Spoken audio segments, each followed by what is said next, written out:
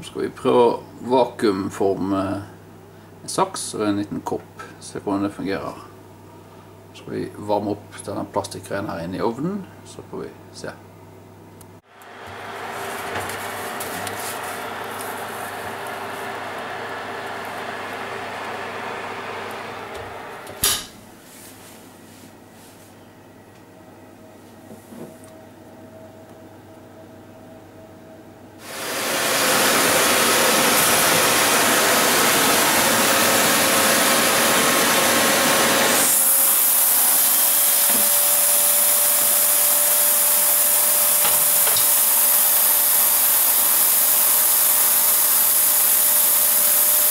Julio.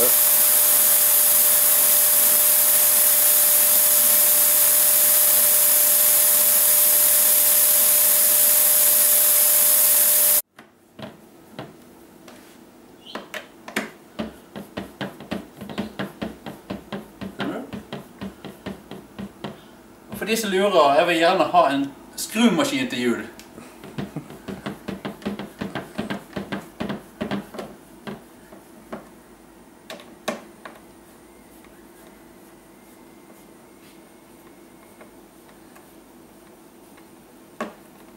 Du er så flink å skru, Frode. Screw you.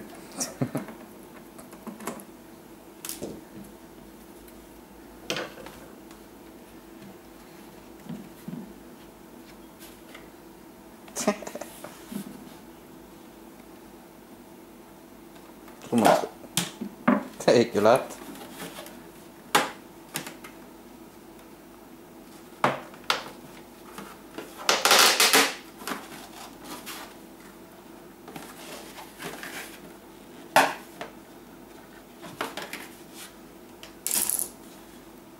Genius. Perfekt. Første forsøk. Haha. Så dumt.